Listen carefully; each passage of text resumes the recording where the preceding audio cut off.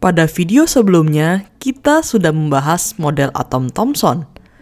Thomson mengemukakan bahwa atom adalah bola pejal bermuatan positif dengan elektron tersebar merata pada bola tersebut. Untuk menguji hal ini, Ernest Rutherford melakukan eksperimen dengan berkas partikel alfa. Rutherford menggunakan partikel alfa yang bermuatan positif, lempeng emas tipis, dan layar dengan seng sulfida di sekitar lempeng emas ini. Ketika sinar alfa ditembakkan dari sumber radioaktif dan mengenai lempeng emas, sebagian besar cahaya menembus lempeng emas, sebagian kecil dihamburkan kembali, dan sebagian lainnya dibelokkan.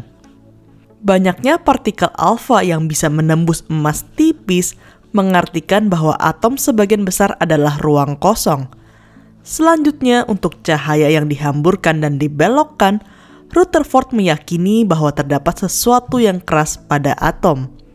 Hal ini diyakini Rutherford sebagai inti atom yang bermuatan positif. Berdasarkan dari eksperimen Rutherford ini, model atom Thomson tidak dapat diterima lagi Rutherford mengemukakan bahwa atom terdiri dari inti atom yang bermuatan positif dan elektron bergerak mengitari inti atom dalam orbit lingkaran. Massa atom terpusat pada inti atom dan elektron berada pada jarak yang cukup jauh dari inti.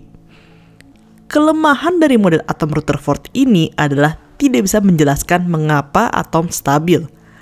Karena jika elektron mengitari inti atom positif, elektron ini akan mengalami percepatan sentripetal yang akan mengakibatkan elektron jatuh ke dalam inti atom. Lintasan elektron ini akan berupa lintasan spiral yang menuju ke dalam inti atom.